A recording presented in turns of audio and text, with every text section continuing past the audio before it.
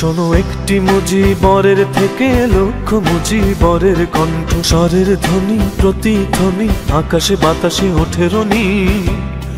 বাংলাদেশ আমার বাংলাদেশ।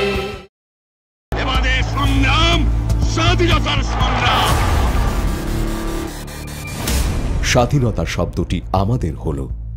কিন্তু যুদ্ধ বিধ্বস্ত বাংলাদেশে নতুন লড়াই শুরু করলেন বাঙালির জাতির পিতা।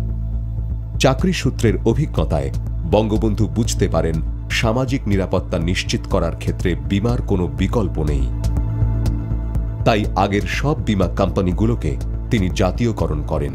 সাতষট্টিটি কোম্পানি থেকে গঠন করেন চারটি কর্পোরেশন।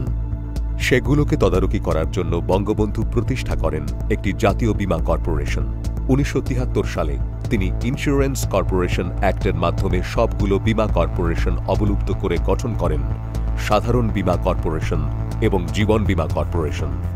এদের তদারকি করতে চালু করেন বীমা নিয়ন্ত্রক সংস্থা।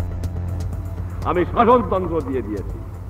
এবং এই শোষণহীন এবং সম্পদ হবে, তা সুষম বন্টন করতে হবে, যাতে গরিব তার ন্যায্য অধিকার পায়। যত ব্যাংক ইন্স্যুরেন্স কোম্পানি দেখেন আগে মালিক ছিল একজন, দুইজন। আজ মালিক বাংলার সাড়ে সাত কোটি মানুষ।